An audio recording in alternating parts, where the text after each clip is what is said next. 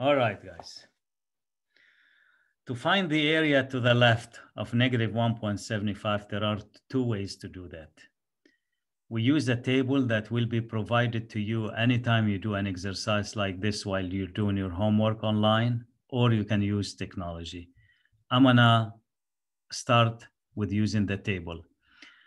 Be honest with you, if the book does not emphasize on the table at all, I wouldn't even bother to use the table at all. But when you do your homework online and you need help, it's going to show you the table. It's not going to show you technology. So I think it is important that you understand how uh, to use the table. And it is called the table of z-scores. So that's why we're working, you know, just with z-scores. And the table will be able to tell you what the area to the left of negative 1.75 is.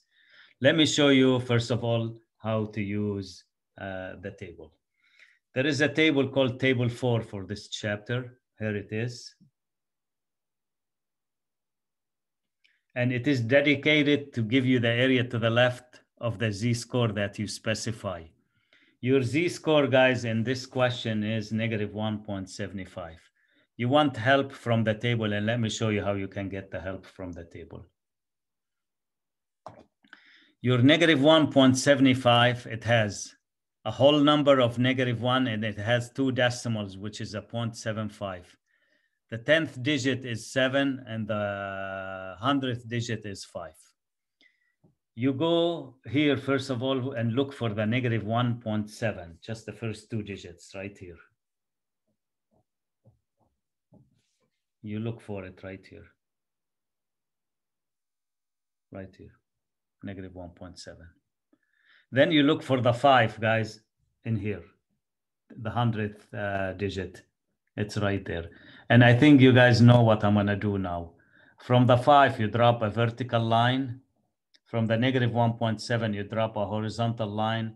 And where the two meet will be your answer. So it will be 0.0401, and that would be the area.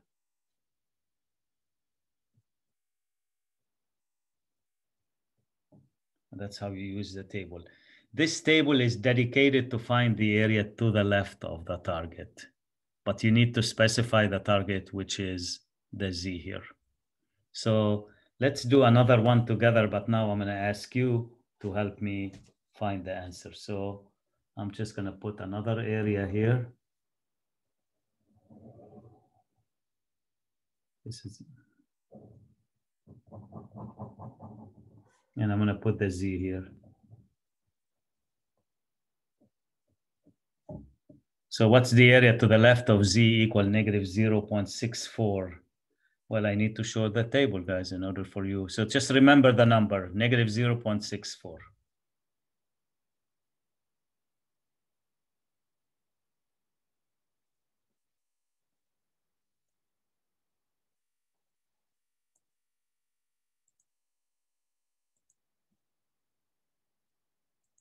Okay, what would that be, guys? 0.2611. 2611. Okay, let's see. So you went here for, yeah, I agree, 2611. As simple as that. So it's not difficult to use the table. Okay, now let's do, so 2611. There's another one.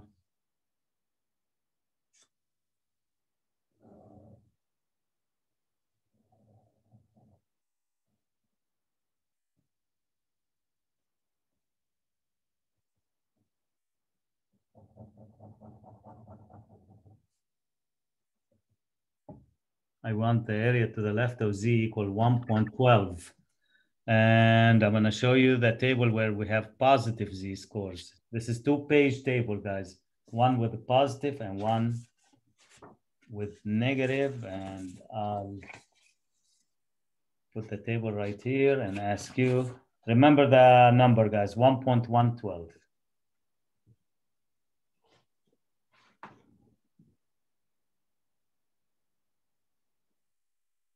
what would it be?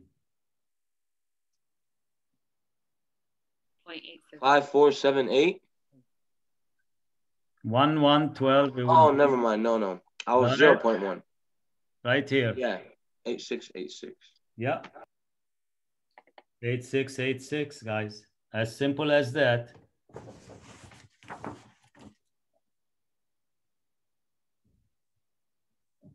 Okay, let's make it a little bit harder now. Still using the table.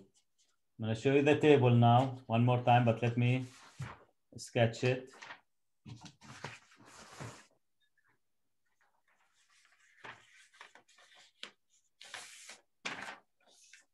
There's another one.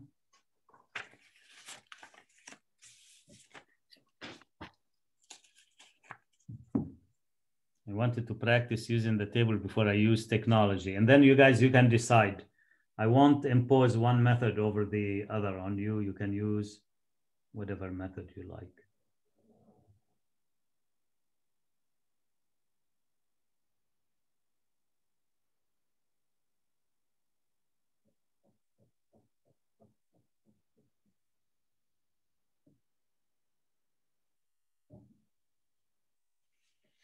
Okay. I want you to look carefully, guys, before you answer.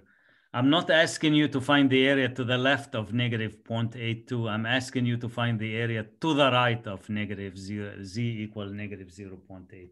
So wouldn't we find that score and then once we find that score on the chart, we minus it by 100 because we know 100% By is the full graph? Yeah, that is very correct.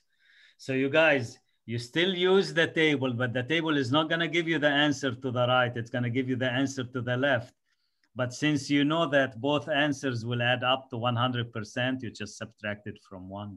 It's exactly what you said. So I'm going to have you do the negative 0.82, guys.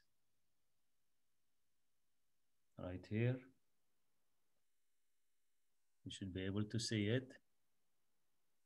Negative 0.82. It will be here. Uh, 2061. But remember, what the table does, it gives you this. And that's not what I want. I want the other one. So I have to subtract the answer from one.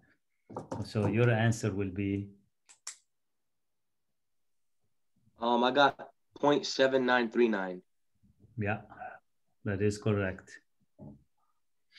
This is how the table, the table doesn't work in your favor always. If it is to the left, it will work in your favor. Just do use it as is.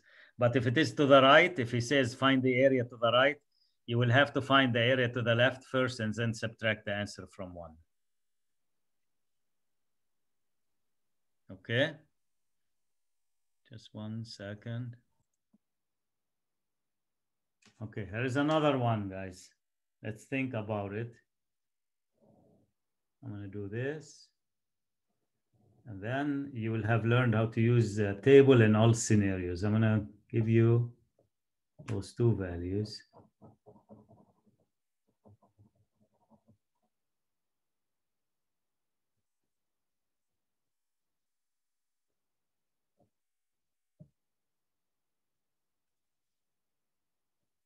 How do you find this area using the table? Don't you have to find those two Z scores? Oh, those are the Z scores, right? These are the z scores. Okay, okay. Uh, then subtract those. Well, Mhm. So what you're saying, find the two areas using the table and subtract the areas. yeah, but the first one's negative, so. I It doesn't mean- matter. We'll have to use the negative side of the table. Okay. Okay. So negative 1.45, guys, watch. Find me the answer, first of all. What was it? Negative 4.5? Negative 1.45. Point zero seven three five. Okay, let me see. You're faster than me. 145. Okay, 0.0735. I agree. So let me write it down.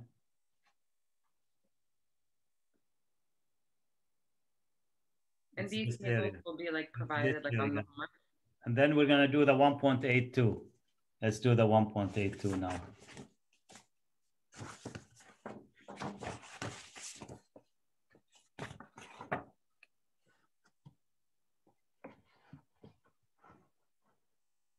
All right, guys, so can you detect the 1.82 now? 0.9656. 9656, I agree. And you guys make sense to do the bigger area minus the smaller area. Because look, the 1.82, it's gonna give you, watch. The 1.82, the area is gonna give you everything all the way to the end. And the negative 1.45 is gonna subtract the one that you don't need. So it does make sense to find the two areas and subtract them.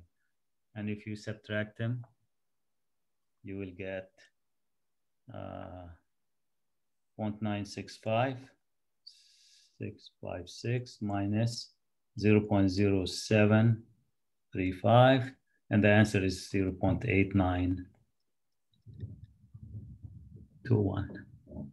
This is how you use the table, guy, table four. It's called the standard normal table. Now, The, all the, the space in the middle, like the shaded part. Exactly.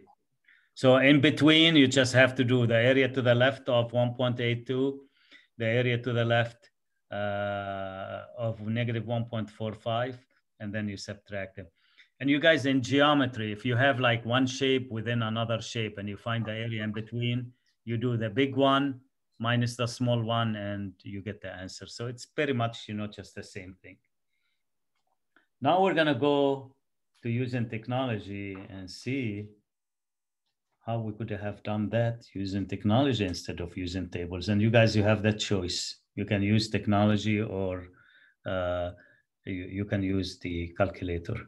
Uh, I'm sorry, use the table, table four. So exercise two. It says use the standard normal table to find the area to the left of z equal 1.15. So I'm going to use the table, but I'm going to show you how to produce this answer using technology. So 1.15, guys, if you can look at it and see what the answer is. So 1.15, it will be 1.1 here, and then 5. So you guys agree it is what?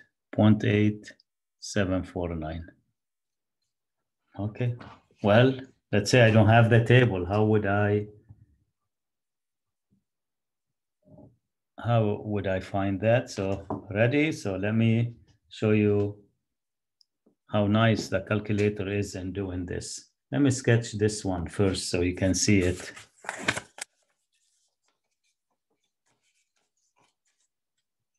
To the left of 1.15, it will be something like that. This is zero. 1.15, guys, you have to make it to the right of zero because it's positive, so that's z. And he wants this area.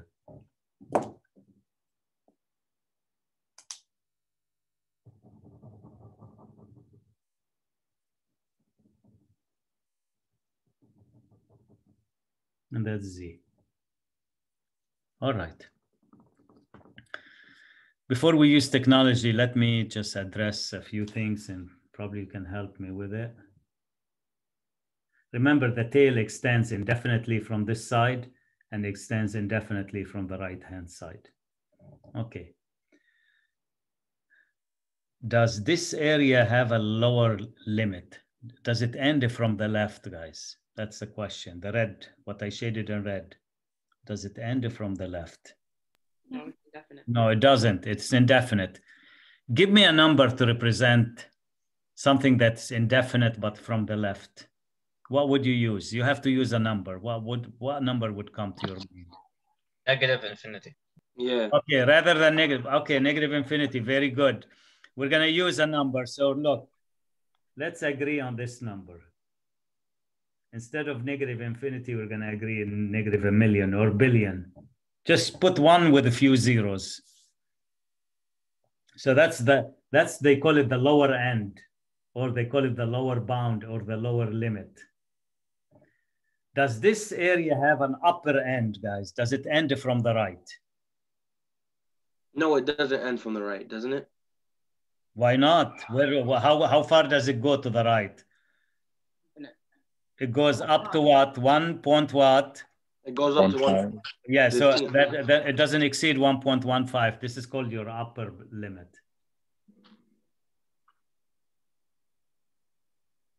And this number, guys, that you said negative infinity, this is called your lower limit. Your calculator, in order for the calculator, guys, to find this area, you need to tell the calculator what's your lower limit and what's your upper limit. Once you tell the calculator those two values, the calculator will give you the area and it should, the calculator should give us exactly the same answer, 8749. So I'm ready now, after I explain what the lower and the upper are, uh, I'm gonna explain uh, how to use the calculator. So watch. You turn the calculator on, clear this, you press second and distribute. Look, it's distribution. It's a normal distribution. So we're still working with distribution. So second and variables.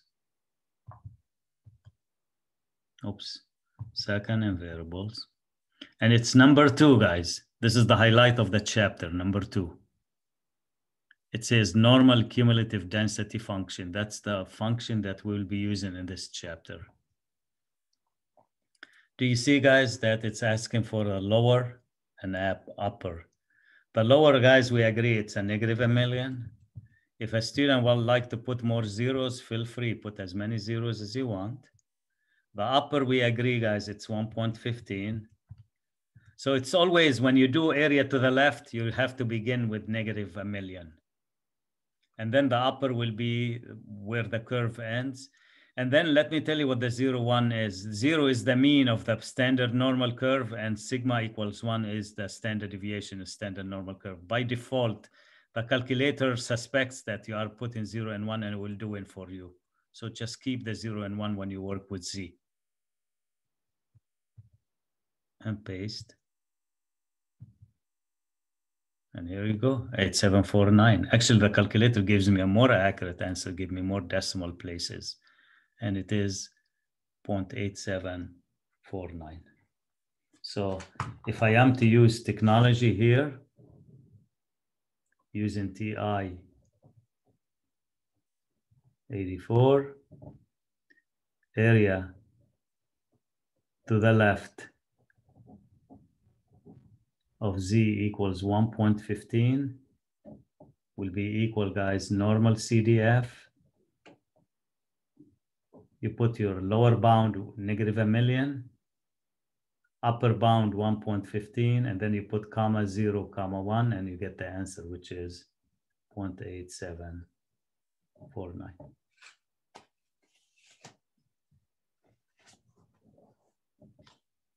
Okay.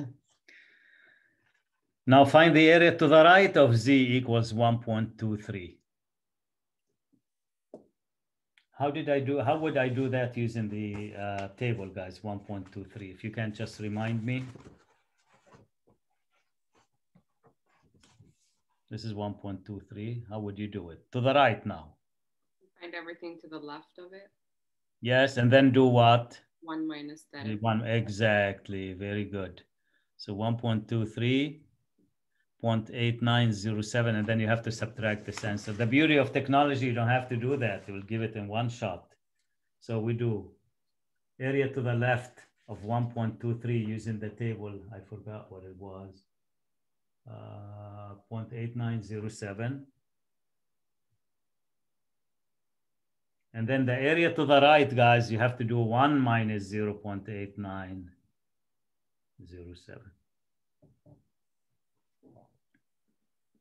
Which is 1093. Well, guys, let's use technology and do it in one shot rather than doing two steps. I'm going to do this one using TI-84. But before I do it, I'm going to sketch it so probably can help me detect the lower bound and the upper bound. And then after that, you don't need really to sketch it. Once you hear the see the word right, you know what to do right away. So 1.23, you just put a zero here. 1.23 should be here to the right. And you guys agree with me to the right should be this area. Professor, can you lift your paper up a little bit? Yep. Of course. All right. Give me the lower bound and the upper bound, guys. Lower bound's one point two three, Yep. and the upper can be a- a million or, Yeah. Uh, that's exactly what I want to get to. Million, a thousand, even a thousand would work. You're talking about z score of a million. We know z score can't even exceed three. So imagine you're putting a million. That's too, too, too much. Wait, Professor, I'm kind of confused now. What? Uh, Uh, how's the lower bound? Isn't it supposed to be negative a million? The No, the lower bound is the area shaded in red. The lower bound means where where does this area begin at? You can see that the area begins right here at this vertical line. So on this one, we're going from right to left. Exactly. No, from left to right still. Left to right still? Yeah. Left, right. We're going this way. And even with the other one, we went the same way. Watch. Look what we did with the other one. We went this way. The lower is a negative a million and then to the larger number 1.15. Here, we're going from 1.23 and up, but up where the sky is the limit. So we just put a million. So it's always this way. Always, guys, you start this way. Pick up the number that starts here and pick up the number that starts there. If you want, this is what I tell students to do. I tell students shade, you know, just the region on the x-axis, just shade it right here. And read it, you know, just from left to right. So they read 1.23 here, and then they see here that there is no limit, they just put a million. And that's how, this is how you read it. So using calculator, guys, it's gonna be normal CDF. You're gonna put 1.23 first, then you're gonna put a million next, then you're gonna put zero, and then you're gonna put one, and you will get the answer. Let's do it.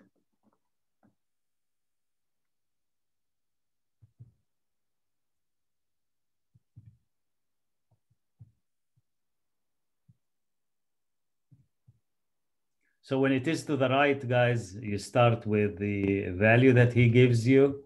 Then here you put this. And here you go, 1093. That's the answer. And I think the easiest thing to do using technology when you find the area in between two values. So let's do this now. Um, what answer did you get right now on the calculator? 1093. One zero, which is exactly the same answer as we got using the table. But the table, we have to do two steps. So actually you don't need to do this guys anymore. You can use the calculator directly. And now, if I do this guys, can you help me use technology to do this? And I think never had students made mistakes when it comes to the area in between because there is no confusion here at all. That's Z.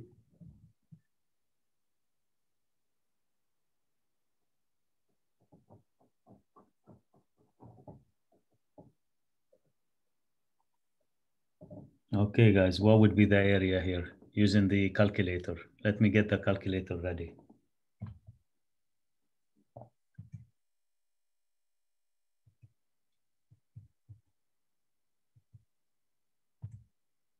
Okay.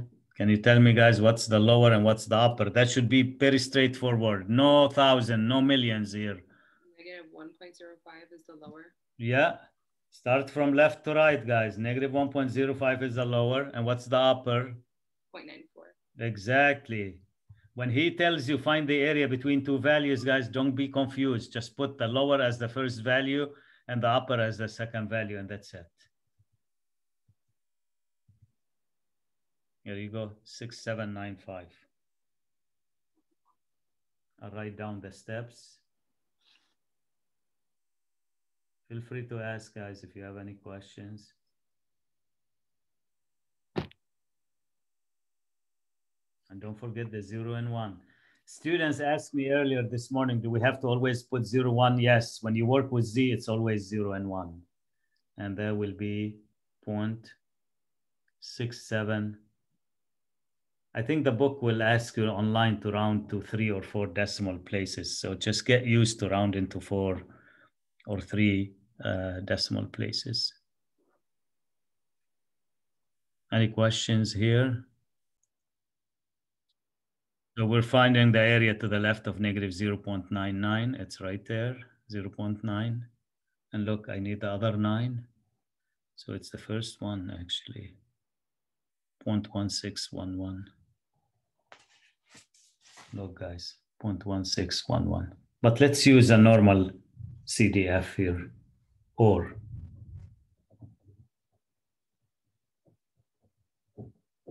what would be the lower and the upper? What's the lower, guys? Start always this way. So this one. Do you guys agree it's negative a million? And then negative 0.99, comma 0, comma 1. And I don't need to do it, guys. I know the answer is going to be 1.1611. Let's do some more practice.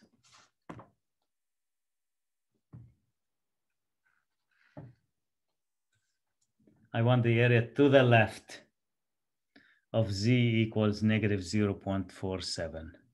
If I sketch it, guys, and let's use technology now. It will look like this. You do the normal curve. You put a zero here on the center always. And negative 0.47, guys, should be a number below zero. And to the left is this area.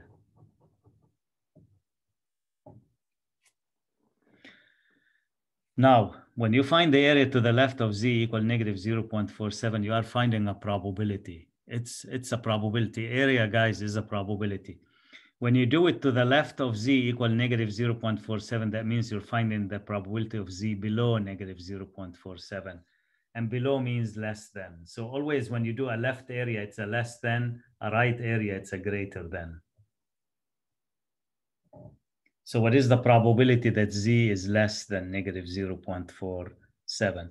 And we can use the normal CDF here. And can a student tell me what the four arguments are? Or at least the first two arguments. I know the rest two is zero, one. What would be the lower bound here, guys? Yes? Negative a million. A million, correct. Million. And the upper? Negative 0.47. Got it. That is correct. Let's find the answer. You can see the table, guys, it's very easy. The function on the calculator is very easy to use once, once you have a good grasp, you know, just of it. I don't expect you to master it right away, but if you do more practice, you're just gonna have a good feel about the, so it's a three, one, nine, two.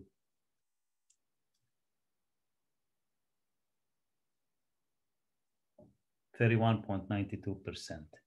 Let's do the second one.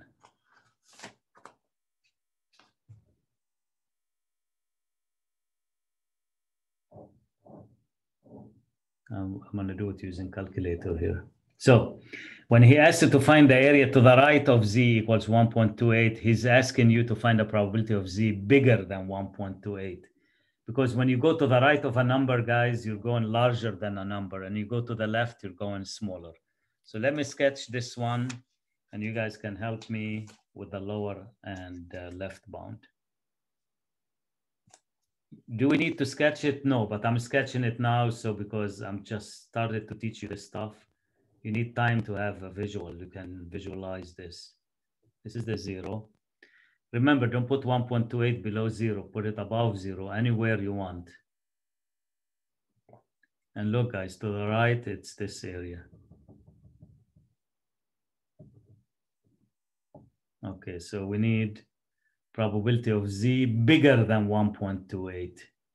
which is if I want to use normal CDF with the students, please give me the four arguments here. What would they be? There you go. That's more clear here. So I need the left bound, upper bound, mean, and standard deviation. What would be the left bound, guys? Um, wouldn't it be one point two eight for the left one? That's correct. That is correct. And then the upper bound would be one million. That's correct. And then wouldn't it be zero and one? Exactly. Zero and one. That's the key. Only when you work with Z, you put zero and one. So let me just do that for you guys. Normal CDF. 1.28. No need to do one minus, guys, here. We're not using table. Just do it direct. I know some students in the past would just use the calculator and tell me you said you subtract the answer from one. I said you do that if you use the table. If you don't use a table, this is going to give you the correct answer right away. So 1003.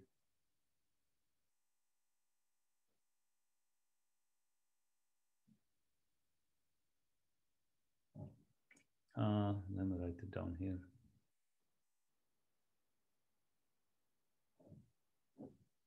Okay. Area between z equal negative 1.1 and z equal 1.73. Here's how you express this as an equality, as a probability, guys.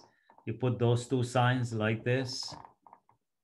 You put the smaller number first, and this is the bigger number there. So that means z between, what's the probability of z between negative 1.1 and 1.73?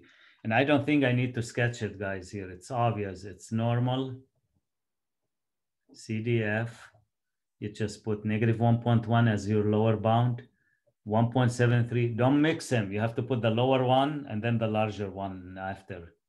And then 0 and 1. And watch, guys. It saves a lot of time, actually. It's a lot faster than using the tables. So you have to have the tables ready. So negative 1.1, 1.73.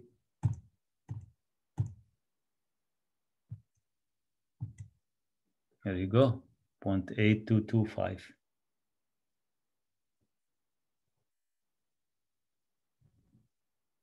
Um, just show you some practice exercises that you can do. Uh,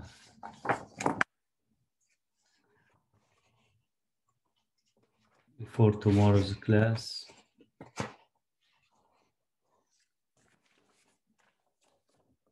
This is toward the end of the uh, guided notebook, guys. Let's, I just want to do uh, number one. Find the probability of z less than 1.14. Can you guys help me out? What would be lower, upper, mean, and standard deviation? Less than 1.14. So we're going from 1.14 and less. Negative a million. Negative a million, very good. So now you learned the lesson. Less than, you begin with the negative a million. 1.14, 0 and 1, guys. And then you can get the answer. So a probability of z less than 1.14, it's, say, it's the same thing as area to the left of z equals 1.14. And find the area to the left of z equals 1.09, guys. It's the same thing as the probability of z less than 1.09. So left, guys, means less than, and right means greater than. And that will be just exactly the same as you did before.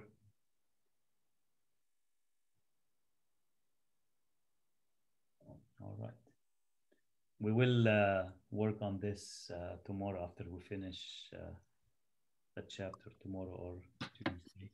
The last thing I would like to do, guys, what about if I don't have z scores? I have actual values, x values. And I have a mean and a standard deviation, the actual original mean and standard deviation. I didn't change to z-scores. Just plug them in. How can I find the probability of x less than 600 here?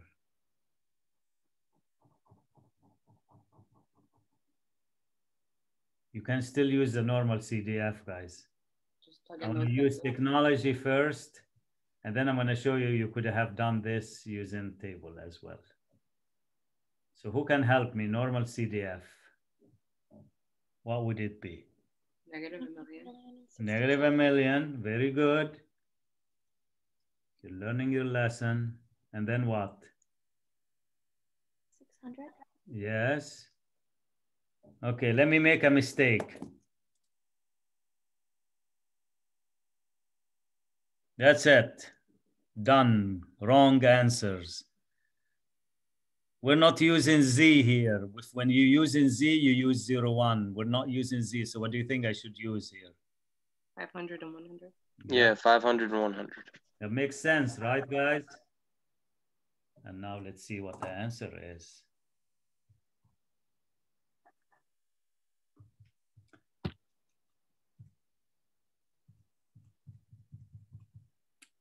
This is a very easy st- chapter, guys, if you just grasp, you know, just the idea of using technology to find those probabilities. Very straightforward. As you can see, it's a lot of repetition. I'm just doing the same thing. And uh, watch, guys, that's the answer. 0.8413. And that is the answer. So if you have the actual data and working with X, guys, uh, you uh, you just supply the mean and the standard deviation and you're all set. Don't put zero one if you're working with X. Look, here it says X, but over a there, it says Z. Yes, any questions? Yeah, yeah. Um, if you want, can we just make the X into a Z and just keep it? Uh, very good. That's the segue to uh, what I'm going to finish the lesson with. So I told students this morning, let's say your calculator was out of batteries. The instructor says you can use it, but you don't have any batteries and your homework is due in 10 minutes and you really need to answer this question. Can you use the table? Of course you can use the table, but remember, the table is only for z-scores. If you don't have a z-scores, forget about the table. You cannot use it. So what we can do, so a student said right away, Mr. Bazzi, we can change 600 to a z-score. I said, perfect. That's what I want to do. So look, if you change 600 to a z-score, so using table four, and I'll end discussions, guys, with uh, this. Change x equals 600 to z-score. Now, how do we change it? We have a formula. You learned the formula in chapter two. So z equals value, which is 600, minus the mean, which is 500, divided by the standard deviation, which is 100 over 100, which is 1. So now, instead, guys, of finding probability of x less than 600, you find a probability of z less than what? One. 1. And then you go to the table. Let me show you. And if I don't get the same answer, I'm in trouble here. But don't worry, I'm not worried. We're going to get the exact same answer. Less than 1, which is 1.00, guys. So this is 1, 0.00, 0.8413. Watch, 8413.